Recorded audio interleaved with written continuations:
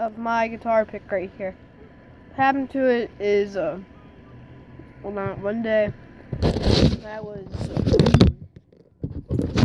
when I was playing my guitar, I, I hit something that made a spark. And once the spark was made, it somehow got my pick on fire. My pick was very flammable. Like it went doom. I think I almost burned my guitar off, burned my eyebrows. Even though I barely have any eyebrows, or do I? Exactly, but um, yeah. That's why it has this stuff on the edges. And yeah, how it has all that stuff.